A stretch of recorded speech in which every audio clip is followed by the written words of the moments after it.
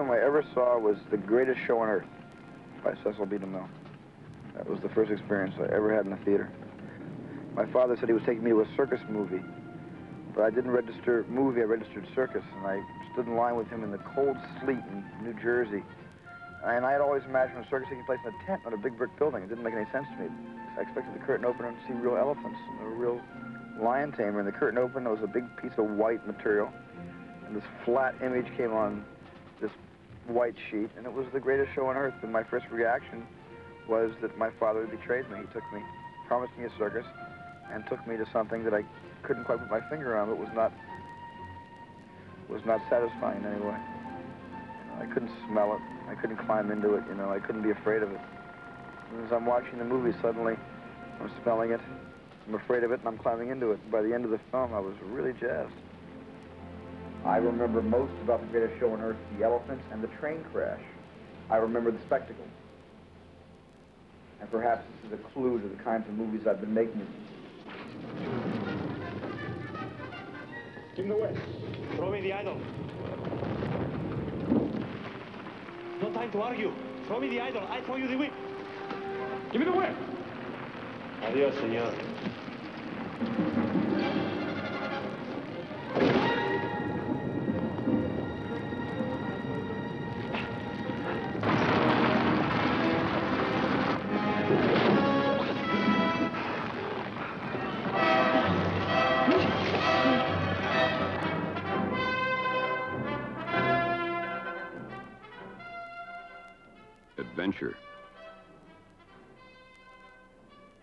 Ago, the Saturday movie matinee with its serialized cliffhanger was part of a way of life.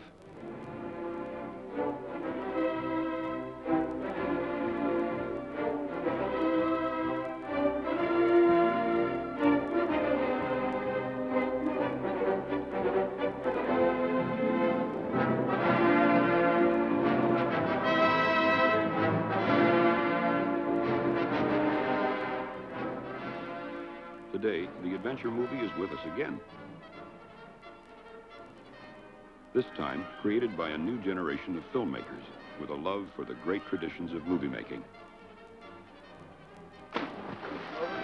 Guys, mean, really mean. Now look it, look it. Now on three, all fire. Don't look at me, look where you're firing. One, two, three. Cut.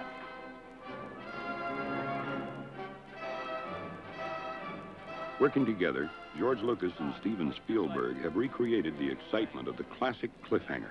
Ryder comes riding up into the camera and he rears back in a dust ball form. And this is the story of how they did it.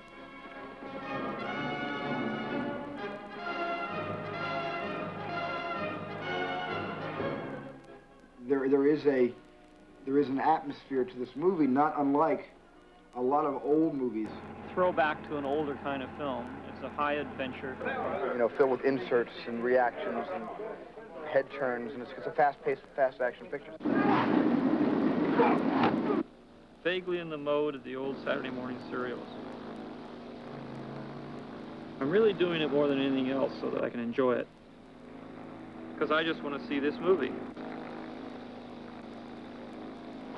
You know, you sit back and you say, boy, why can't they make movies like this anymore? First got a call from George. He said that one of the projects that he had coming up was a project with Steven. And that day, Steven came in and we met a writer named Larry Kasdan. And uh, George was introducing people around the room to Larry, and he introduced me as the producer of the movie. And that was it. I mean, it was, you know, an hour later. I mean, that's the way George is. He's just amazing, you know. Um, and we all shook hands, and, and George said, we're making movie history. Movie history.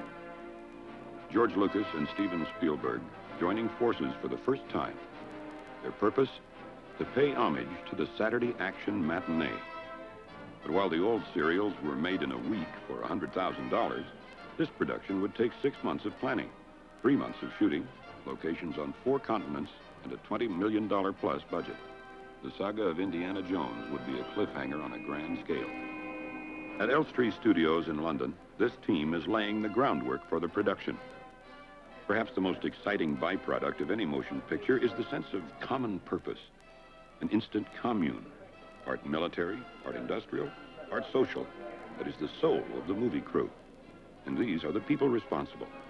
And action.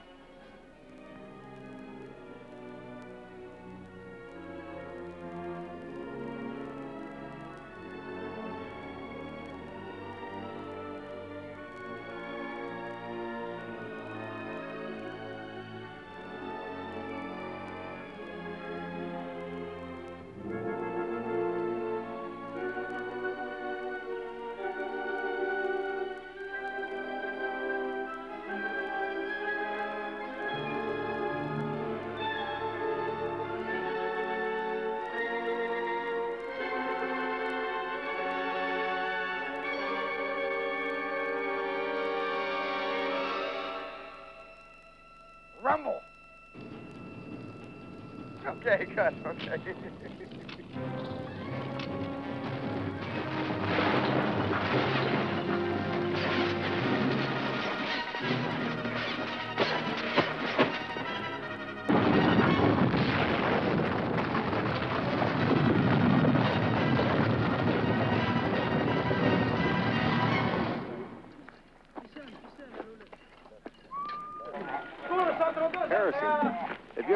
you ever done anything like this, dragging behind a car? Dragging behind a car. Dragging behind a car. All right, roll cameras. No? Put your head up just a little if you can. That's it. It's just uh, one more useless experience. I'm sure it's not dangerous. See, if it was dangerous, they would have waited till we got more of the movie done.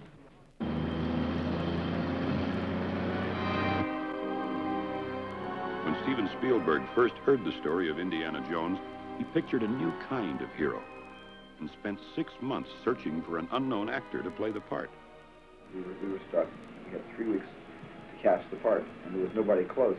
And then I saw Empire Strikes Back, and I said, Harrison Ford is Indiana Jones. And I called George Lucas, and I said, he's right under our nose. And George said, I know who you're going to say. And I said, who? He said, Harrison Ford. And I said, right.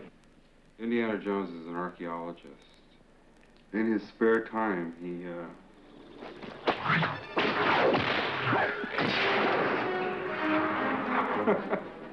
He's a grave robber. But it's an adventure that has found its own fantastic elements. About the adventures of a soldier of fortune, Indiana Jones, caught up in a spectacular supernatural treasure hunt.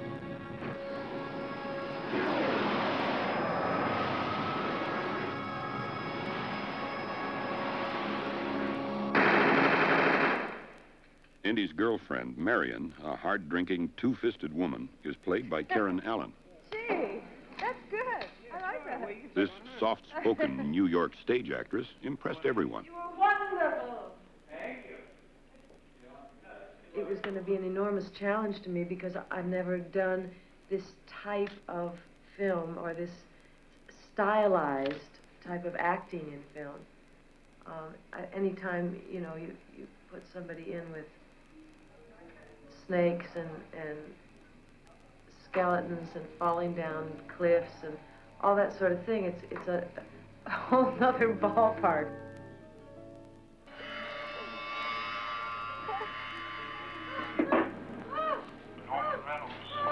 Yes, Robert.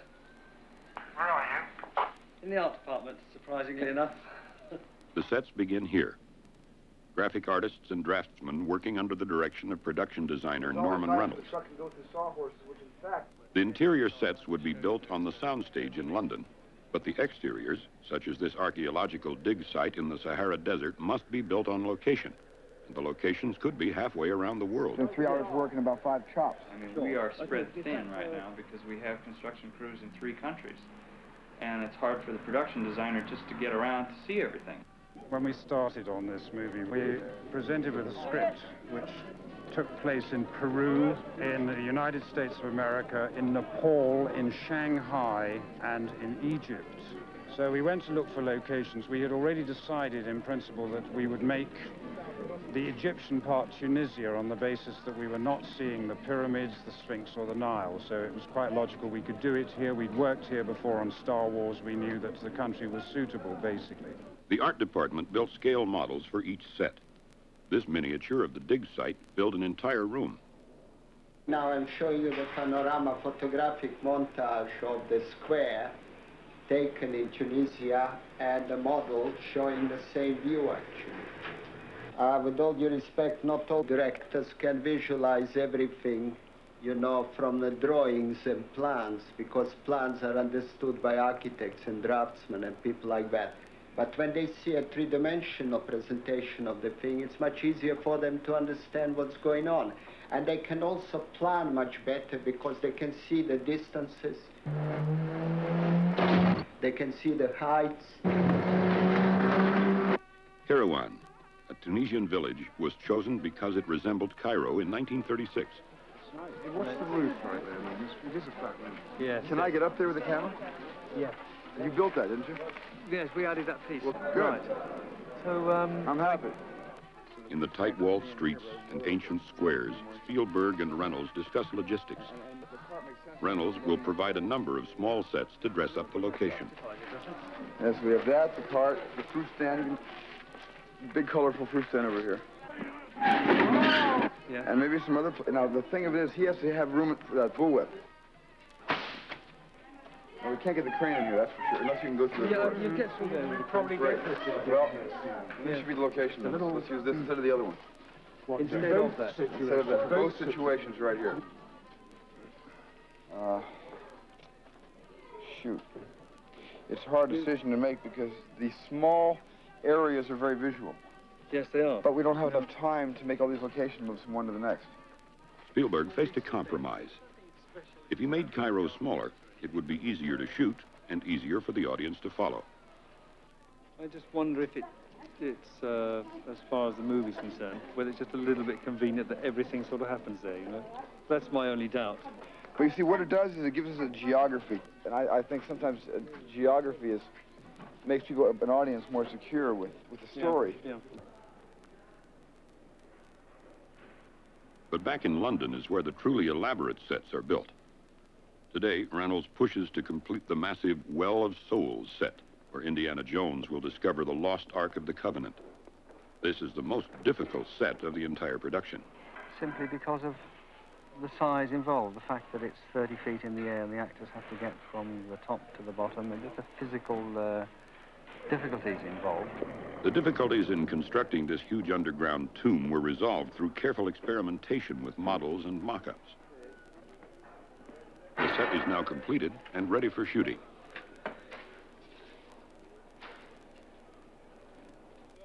You know what I should do with you? Go through the whole storyboard.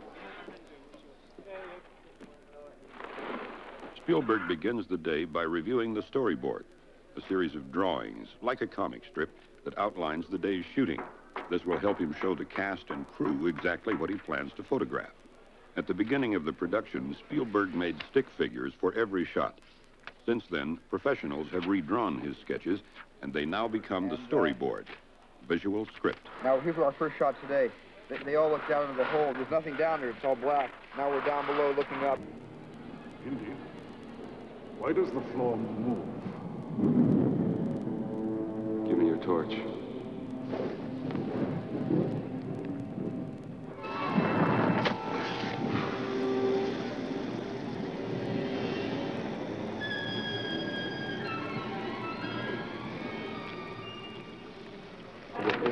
The bane of his existence, the snakes.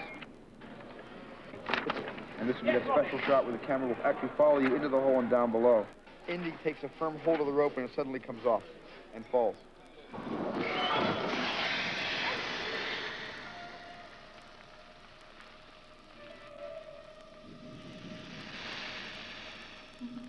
I told you it would be all right. My big problem in making movies is, especially an action picture, in a very fast-paced sequence, I'm trying to turn the page before I ever finish the shot. I've already shot that thing in my own head. That's done. That's a print. The gag comes off Marion's mouth, and she is unceremoniously shoved into the hole.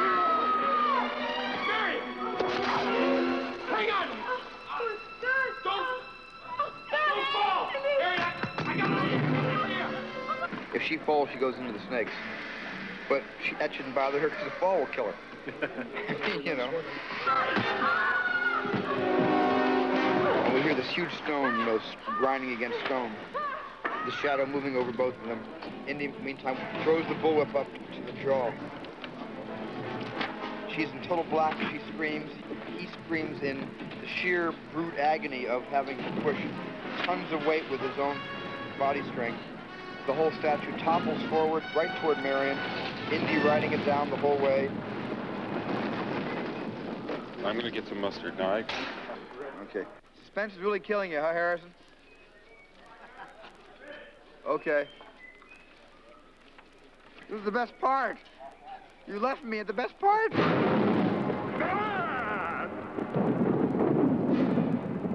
Sorry, Indy.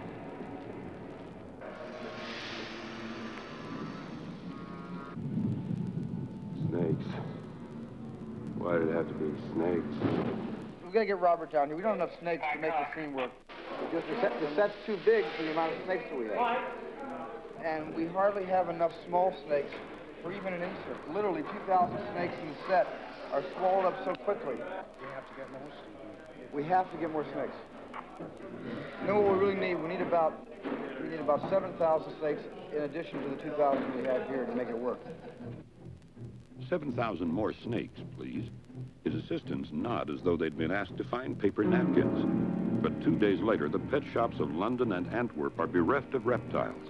In the well of souls, boa constrictors, pythons, and cobras all do their slimy thing. I mean, there is a serum to protect against cobra bites To get bit more, and you've got to get it in two minutes. in two minutes. Cobra bite uh, paralyzes the nerve. I, I want one person whose job it is only to keep the pythons away from endangering the actors. This is a hopeless Mike, Mike, thousands of them. Just get ready to shoot right away. I'm never going to be able to hit my mark. Let's reconsider this whole thing. Harrison is in his big boots and his gloves and his pants and his leather leather clothes and stuff, and I had this little sort of thing and naked arms and, and nothing on my legs and bare feet, and so I just couldn't stand them on my feet.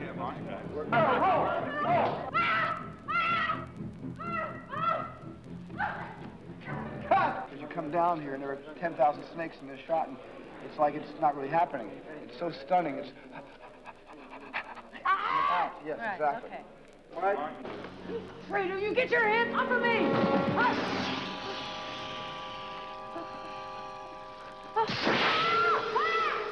When I say to you more and more, you give me more, but you give me more in increments of millimeters instead of feet. You know what I'm saying? Yeah. It's just that there are some moments where there's a skeleton in the closet. There's two ways of reacting to the skeleton in the closet.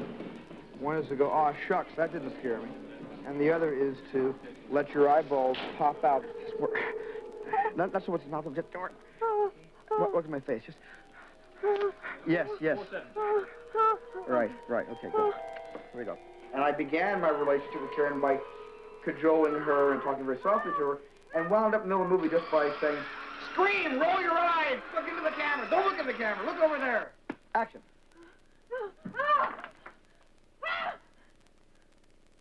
Cut. Beautiful game. I print that terrifying. This is the music right here. That's all you need. Well, so I'm feeling less and less and less silly. Yeah, and you're looking better and better. I mean, I love the, I love the last take coming down on you today. Every actor needs a, a different director for each moment, and I think I have to be a different director for each actor, moment to moment. Not too big. So that's almost a hand involuntary. Oh, That's a lovely art. John, John, good. Can we just can we just do some face jokes? Can I have this man and his wonderful face, and can I have him back there among these women and men right here to be yeah. pressed right into the Yeah. foreground? Yes. This guy's face. Right, you come with me, son. Exchange him with the guy with the dirty face. hat. Yes, exchange them. Come over here. Assistant Director David Tomblin, Spielberg's physical extension, handles large-scale, heavily populated scenes. You are here, son. Right? You're all going to be good actors. So I've explained the story to you. you pick your champion. So we're going to rehearse it, and you really be rooting for these people because you've got your money on and you have very little money. It's very important that you win, so you must be very serious about it, okay? Also, David, tell them this is a, this drinking contest. She owns the bar. She's the owner of the bar, and and this drinking contest happens every Friday night. It's like bingo. Everybody comes to watch her put somebody under the table or be put under the table. So, right. so you save your money all week to either lose it or win it on on these people. All right, so don't be inhibited. Really get into it and shout and do anything you want, okay?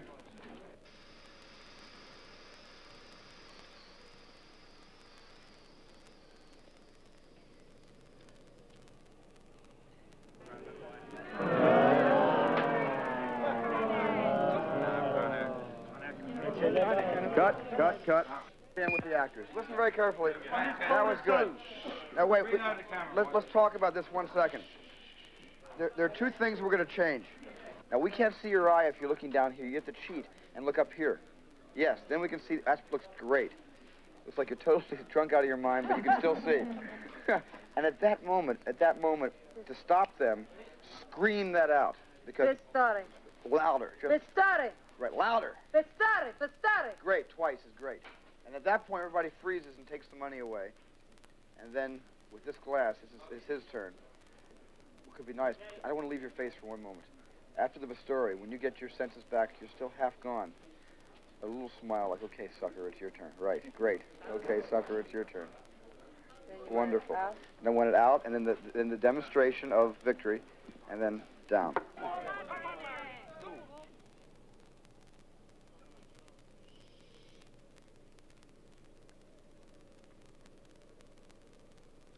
I don't want to leave your face for one moment.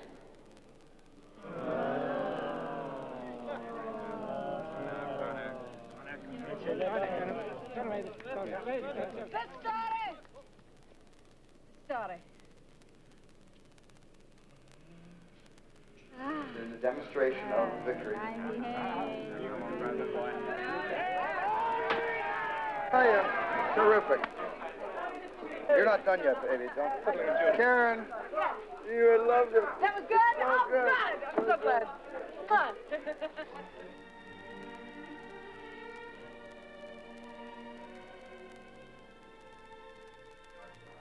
That could be a really nice moment. It doesn't also can be cheated toward camera.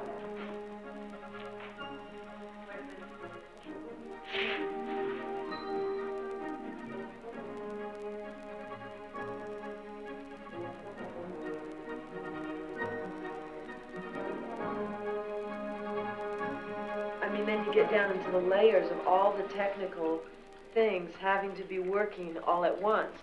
So it, it wasn't just the acting, it was being aware of what the camera was doing and being in the right light and the right place at the right moment and not getting in each other's way and, and all of those sort of things. I mean, it was fascinating. I need one of the pieces your father collected, a bronze piece about this size, the hole in it off center with a crystal in it. You know which one I mean? Yeah. I know it. Yeah, see, this is so tight. If you move an inch back, you're out of the shot. Indiana Jones.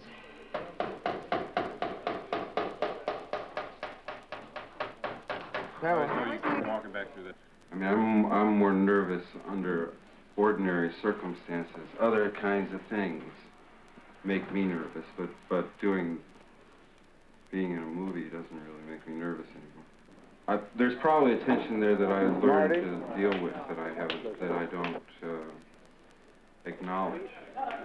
But there's nothing operative. There's nothing that I have to deal with before I can do my work. I got revolver. I got Terry. You know the second, you know the second one? It- It's frustration. That's that's different than tension. Sometimes there's a frustration in not being able to make it work. You just have to keep trying. There's a moment before it comes together in in which you're both doing separate things, but when it comes together, you're both doing the same thing, and that's the part that you're going to use. Energy and fire. We see everything that we, we, we want to see in you oh, happens There. The moment you look up and Yeah. af- having heard your voice. The whole transition from, oh my God, to Cover up.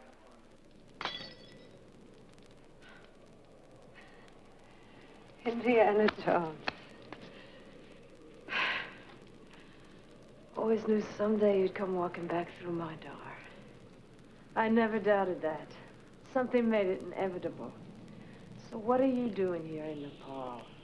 I need one of the pieces your father collected. I learned to hate you in the last ten years. That window's on fire. The table's on fire. Uh, this is burning. All this whole thing's burning here. This action scene involves planning and control of a web of elements and details so complex that it takes a crew of experts months to put it together. When these elements do come together, it is pure choreography. A kind of ballet. Every element perfectly timed. Stunts, special effects, overall design, all precisely coordinated. Here, special effects expert Kit West goes over a gunfight scene with Spielberg.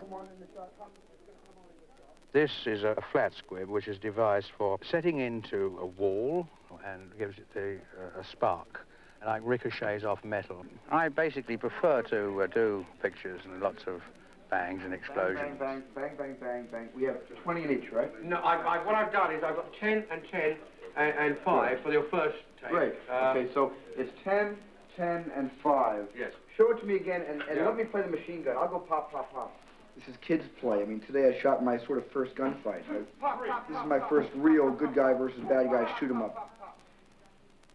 You know, as if you're a perfect marksman. Now watch, watch me. You aim, yeah. and at the last minute you close your eyes and pull the trigger. I love it. Okay? I love it. All right, well, just step for- Okay, ready? We began, which is something I, you know, I, I've always wanted to do. We began to choreograph it like a dance, by the number. That's how it's done. That's how it's usually done in movies.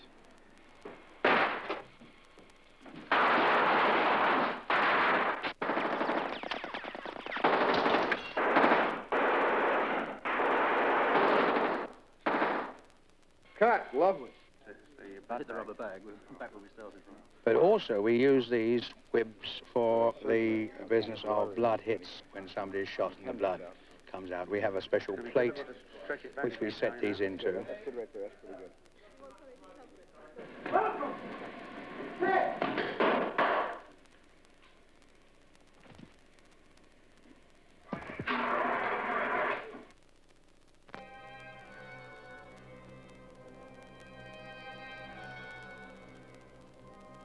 In this scene, the ark is finally opened, and the climax is a tour de force of special effects.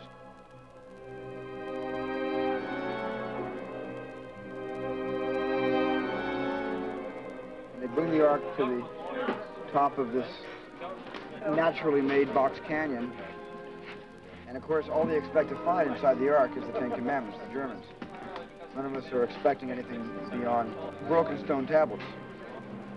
But uh, it's, it's said that the tablets were returned to God and that the ark was destroyed in the Temple of Solomon. But our film, based on what George Lucas's beliefs are vis-a-vis the ark, is that the ark was in fact uh, moved and not destroyed in the temple, and then discovered by you wonderful people. It was always that when they opened the Ark, an event took place. Spielberg knows how the special effects will look and communicates this to his actors. Here, the premise is that, like Lot's wife, looking will turn them to stone. You know, I mean, like you're tied, you, only your head can move. Like, yeah. I can't! Don't look, Marion! Ah! I have to look! Keep your eyes shut, Marion! Don't open them! Indy, I have to look! Though actors must take directions with deadly seriousness, it is not always possible. All right, look! The problem with a movie like this, when you don't really know what the effects are going to be until you get into post-production, it's very hard to, to direct somebody and say, look frightened or look look overjoyed or, or, or, or look with awe at something that will not be in for four months. Your apparition will come to get you. You'll go around you this way. So you'll turn. When I say, John, you'll turn this way. Follow me all the way around. You'll turn. You'll keep going around with your hands up. Try to keep this thing away from you. Just try to just try to keep keep it away from you, like like flies, like bees, you know. You were exactly, and sort of rotate like that as it sort of spins around you.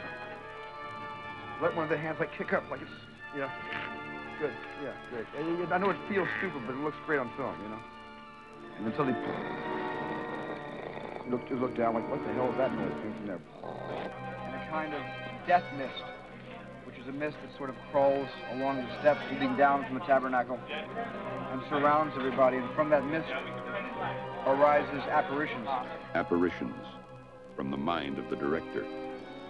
Group B, stop! Group A, stop! Wind machine. Come back up again. Group B, stop! The apparitions begin as amorphous clay, then are shaped for animation on film. I like that same flat look over here, so it's not so rounded. Because this, this, he's, he's, he's really good. He, he's sort of a cross between a kabuki dancer and a girl I once lived with.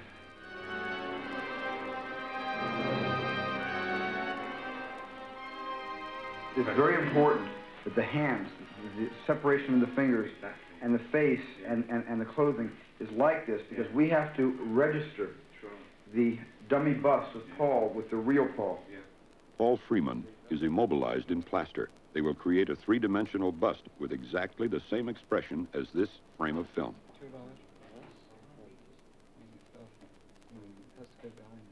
He must hold his grimace of horror, an hour-long ordeal, while the latex and plaster mask is cast. This effect will last only a few fleeting moments on the screen, belying its hours of behind-the-scenes preparation.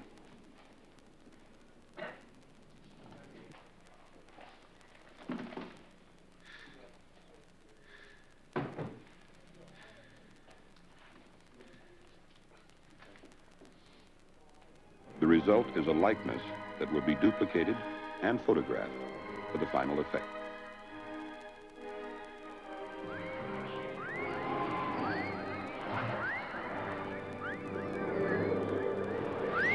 We're dealing with a kind of special effect that we haven't used before, and we're trying to come up with a new look. It's Beautiful!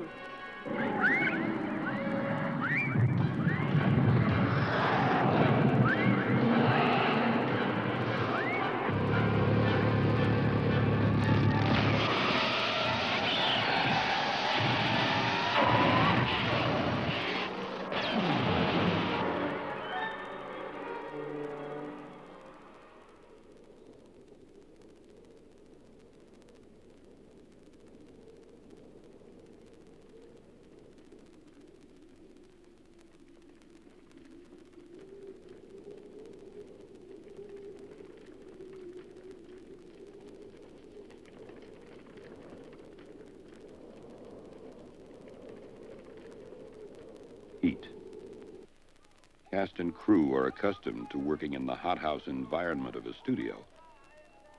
But nothing has, nothing could prepare this crew for the Sahara. Under the Tunisian sun, it was 130 degrees.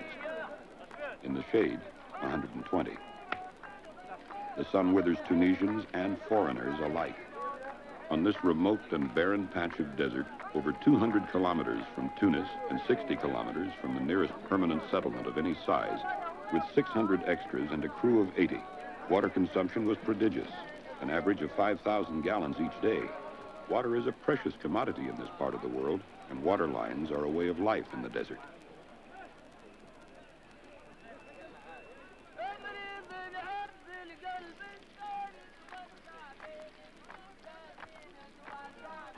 Filming in the desert for nearly a month reduced even the most coherent minds to dusty gibberish. Norman, do you have any other ideas? Paul? Anything. Let's just go off and make another picture. All right. Let's do a picture about, uh... Let's do a picture about a movie crew going crazy in the sun. He's gone, you know. Flip. The sun. And, and, uh... Steve does a great deal of homework when he does a picture, and uh, he's very organized. And uh, I think one of the main reasons that the film is going so well, and we are ahead of schedule at this point, is because uh, Steve also has gained a great deal of technical knowledge on making movies, and uh, he's made these kind of movies before. He knows what to anticipate. He knows how to make a production move.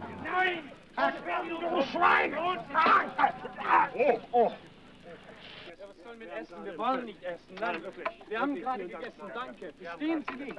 Du warst nicht essen wollen? Terrific. Excellent. Excellent. Really good. Work wonderful. Just beautiful. Yes. Special effects burn tires to create a hazy background. Too many tires, too much smoke. The scene was too dark. I mean, all this action was too dark right here. Very dark for a camera. What? Very dark for a camera. Well, push it one stop. We will. I mean, we'll see the water. We'll see the food fly. We'll see all that. Well, the problem is, if I, if, if, literally, if I reshoot this, I'm behind a half a day because we have to let them go and rest and everything else. So I would say we have to move on. Let's let the liberty. Let's go. That's the, that's Hollywood. Next shot. Great guys. You're good actors. You know, you know whether the shot doesn't work when you're shooting it, and most people lie to themselves like me. I just sit there lying to myself. I say, well, it'll look better in dailies. It'll work. And I think so many of us walk walk away lying to ourselves. And of course, the more we lie to ourselves, the more money we save because it means not having to go back and do seven or eight more takes to get it right. Okay, start the dolly track here. That's good. Because you got a Start nice right bit of, here. Nice bit of something here. Right, so- watch this. Start right here and go straight across, perfectly paralleling this. Yeah. Now, we, do we have any curved track? Yes. Okay, we'll curve off here. There's a moment in every film, many moments, maybe several hundred moments, where you think you've got the biggest hit of the century. And other moments where you think you're going to walk away embarrassed from this and never be able to live it down. And those feelings sometimes occur within an hour of each other, or within a day, or sometimes they just uh, are pulling you and pushing you during the editing process. You know, a success breeds a thousand parents, you know, and a failure is an orphan. The important thing about making movies is to stay friends. George and I have been friends a lot longer than we've been working together. George and I have only been working together now essentially for a year. We've been friends for 11. You know, this is a movie that I'm making for George from his idea. It's of his being. Yeah, man, thank Yeah, like that. We'll be. Yeah, we'll be going like this. We'll be moving like this. Yeah, that's great. And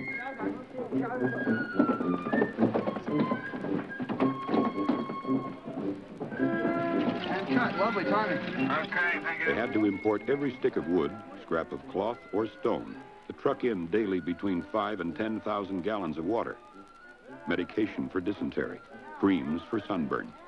The production involved making traditional Arab costumes for 600 extras. Okay, great. Here we go.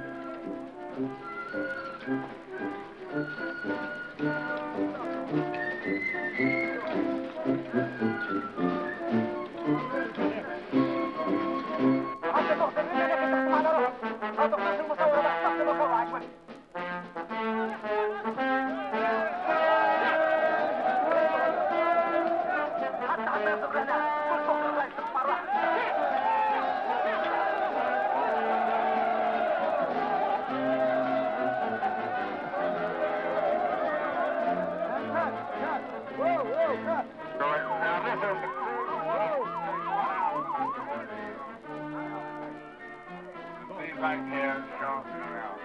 Making a movie is like fighting a small war. The deaths and accidents are, however, more of the spirit than the flesh. This small war was planned by experts and fought by professionals. Vision and execution come together in a rare and remarkable collaboration. And we pan and dolly around with Indy as he's heading presumably back to the surveyor truck. And just as he gets about here, Harrison, a convoy comes by, one vehicle with a whole bunch of foot soldiers, and it's like turning away again, and just until the coast is clear, he dips into the tent. Is that logical? Yeah, me too. Okay, well, shoot. Okay. Okay.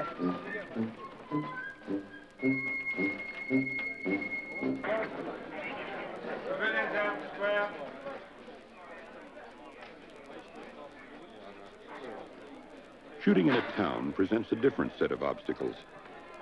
It's a case of having to persuade people to close their shops for the day, which is a very difficult thing to do.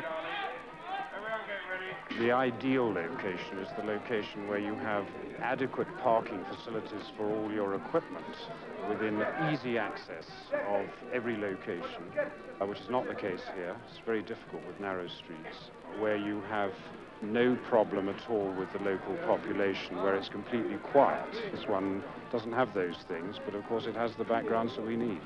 So our first shot is going to be following our principals up, and we're doing the kid with the monkey. So we'll eventually be on Dolly track, ending in this direction with the whole house and the city in the background. The problem with the TV antennas is one that you get everywhere in the world now when you're shooting a, a period film. This movie is in 1936, and the town of Kairouan is covered in aerials. So that was a, a major logistical problem to get all those aerials removed. I mean, logistics, they're myriad. There are so many facets to logistics in operating in a foreign country.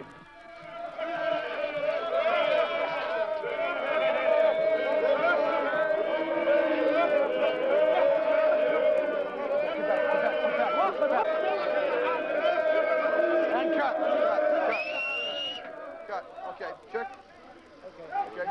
Do one. Do one more thing for me right now. Uh, how they coming forward? They came forward okay? Yeah, pretty good. Tell them to do it again, but don't po- laugh, but don't point. Okay. Laugh, but don't point. Shooting in a town like Kairouan, to be honest, you don't know until the day you start what it's going to be like. I was pleasantly surprised because we closed off the main street. I don't know of many cities in the world where we could have done that without creating a riot. More direct. Yeah, more direct. More direct. More direct.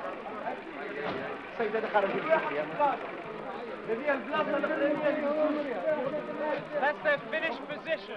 Having got it organised, everyone has a function. All the background then looks logical. So watch out for their toes, use their brains, and react as they would in a normal situation. If you have English-speaking people, you can do it very quickly. If you have to go through an interpreter, it takes a bit longer, and if, then again you have to live through that and uh, still try and keep a good atmosphere on the floor and stop people from cracking under strain. With this crew, a terrific crew, camera crew, extremely good, best temperament I've ever come across. Take a lot of uh, aggravation without breaking, which is good. I hate to admit it, actually, but uh, Chick's been with me for, for over over 30 years, and Robin has been uh, for well over 20 now. It's, a- it's an incredibly long time, and uh, it's a marvelous relationship. I couldn't live on the floor without them. You know, he rides that camera like a cowboy that does a steer. Say when, Dougie. Okay, we go in this if you like. It's like a snapshot. All right, we're on standby. We're going to shoot now, please. Get ready. Background, action. It's you, it's your family, it's your friends. We put it all together like a string of pearls.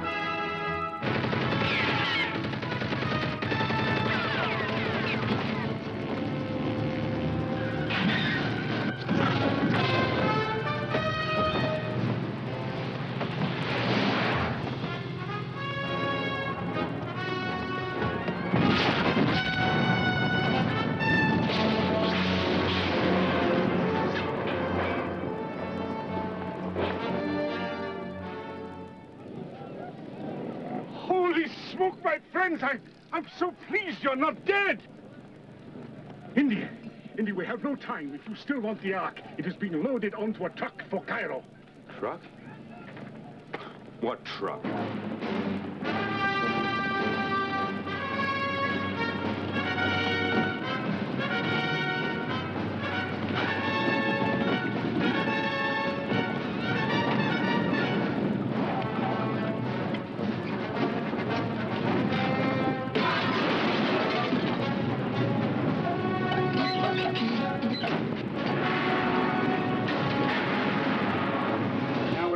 Exactly what you had. This is all in. The storyline includes a chase in the grand tradition. Because this sequence promised to be a monumental task in itself, Spielberg created a second unit directed by Mickey Moore. This truck comes around. He's overshot. The car goes through the tent. Spielberg and Moore used the storyboard to plan the chase. Moore's footage must fit stylistically into the whole. Anytime we cut to a static shot during the chase, there's nothing worse than having a static shot because we're so used to the movement. We're moving with the trucks, moving with the cars, whether they're mount shots with car to car.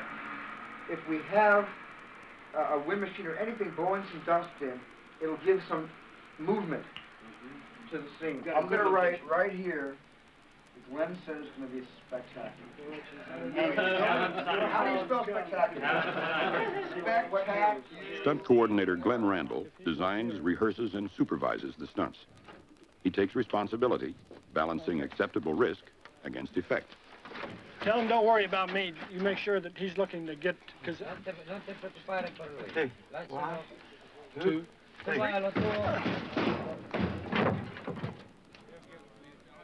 Harrison Ford did some of his own stunts. This was both unusual and risky, for if Ford was injured, the production would be shut down. Harrison is great to work with. We had to teach him to do things that uh, he had not done before, uh, some things that really hadn't been done in films of recent years. Uh, it was quite an experience. I had to uh, teach an actor to use it. They can be quite lethal. You could beat yourself half to death with it before you learn how to manage it. And Harrison stuck with it, and he learned it quite well. So we incorporated it uh, in several of the fights. It's all the ingredients put together. It's a good camera mount. It's checking the camera. It's timing the truck right. uh, the challenge of doing it. Uh, it's a unique area that not too many people are involved in. You take all the film stuntmen in the world and all the number of films and television shows that are done. There's just there's a very few number of people that are involved with the actual action sequences. So it places yourself on in kind of a unique category, and of course the money's good. So. When you get to the top of the hill, we'll hold your speed and Terry will dress on you.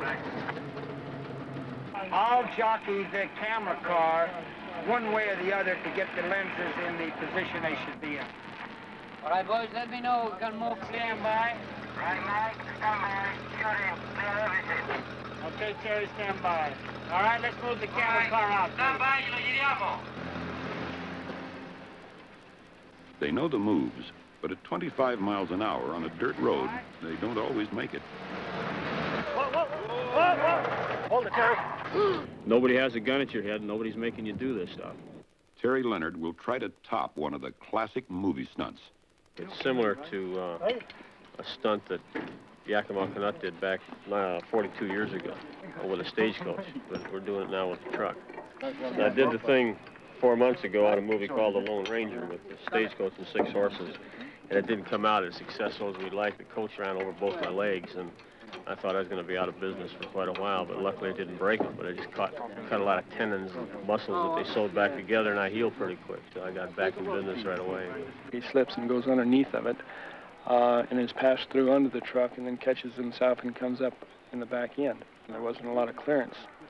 So it was kind of a tricky uh, situation. We're making a sort of a ditch uh, for his body to lay in, which he still only has about two inches of clearance when he goes underneath. You had to be right on the money, the proper speed. If you bounced off of a ditch or something, uh, you've got a man underneath the truck whose life depends on staying on course. You're conscious of somebody being under there, but you can't think about anything other than the fact that you've got to stay right on line. Plus, if you run over somebody, you know, there's no excuse in the world that's going to take that away from your own mind. That, because your life at various times, I'm not trying to make it sound like every time you go out, you're staring the Grim Reaper in the face. That's wrong.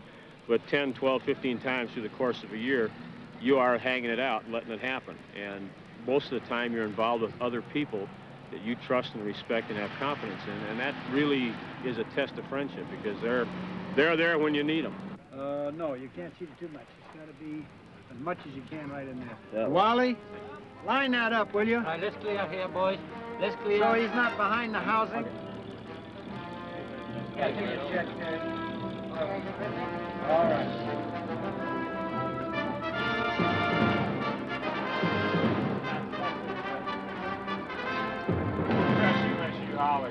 All right, stand by. This is picture. That's it. Right. Okay, turn it on and go, Romo.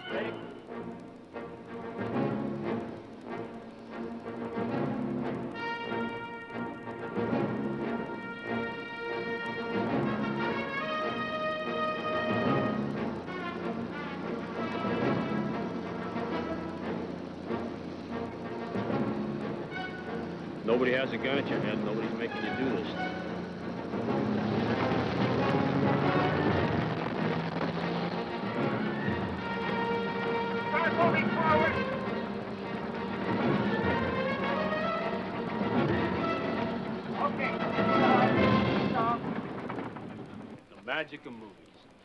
Magic of movies. Jesus Christ. Hey, look at this, though.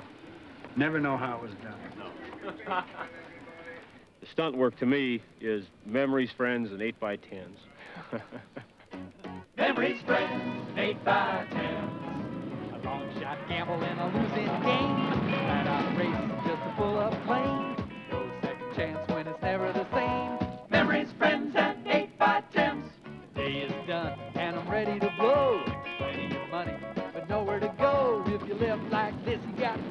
Nothing to show but memories, friends, eight by ten.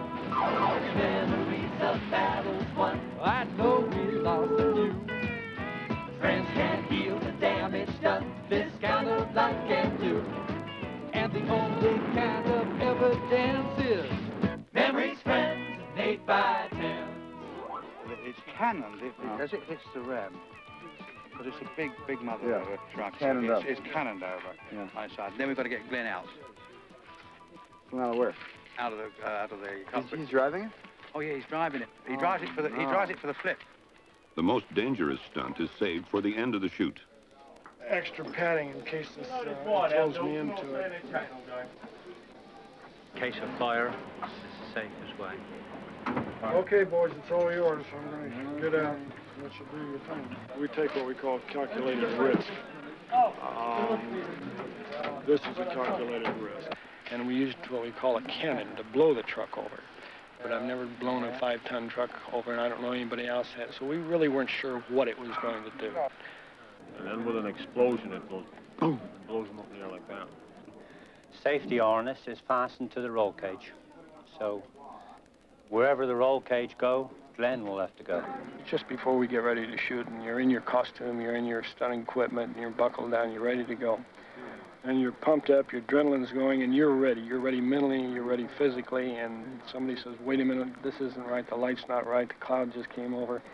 That kind of waiting is the most aggravating. That's a, a classic situation of pressure. That was our last day of shooting. Everybody's ready to go home. Uh, it was the last shot of the day. Um, that's why you get paid the big money, because of that kind of pressure. all he's got to do now is to get up into there and just join them onto the cannon. Is he ready? Ready. How ready? Roll the camera. All right, turn over.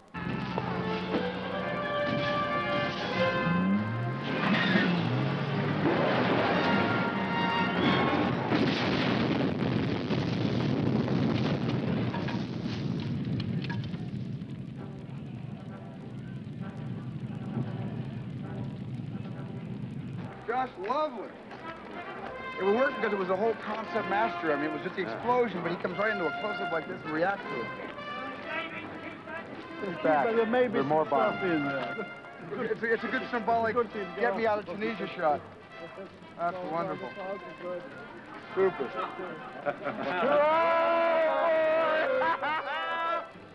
That's it. Boom! Woo! No, it's a wrap. As we come to the end of it, I mean, I feel both relief that we've got through, and also sadness that it's over, because every movie you work on is an experience, it's a bubble in your life, it's a time capsule, and it's never ever going to come together the same way ever again. So it's an experience which is coming to an end, and I think there are few of us that don't feel a, a, a form of sadness at the end, as well as the relief that, that it is over.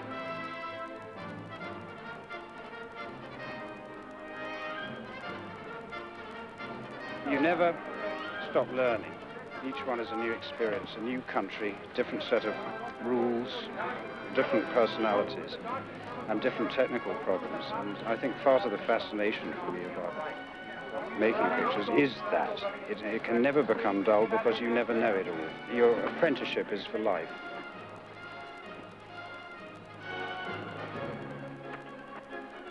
Back next.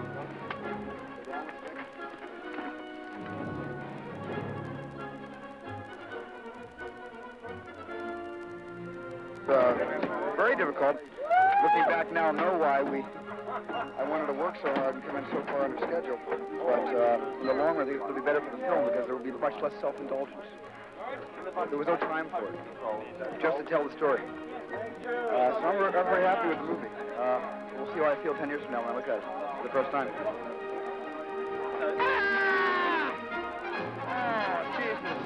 I feel just like we won either the World Series or the Super Bowl.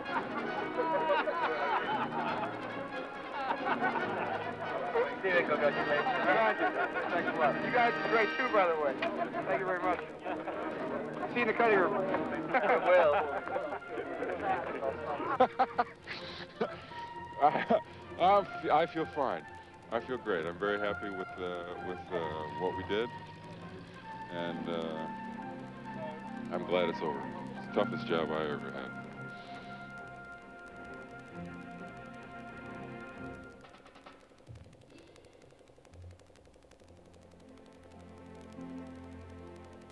Bye. Memories, friends, made by towns. A long shot gamble in a losing game. Flat out race just to pull up lane. No second chance when it's never the same. Memories, friends, and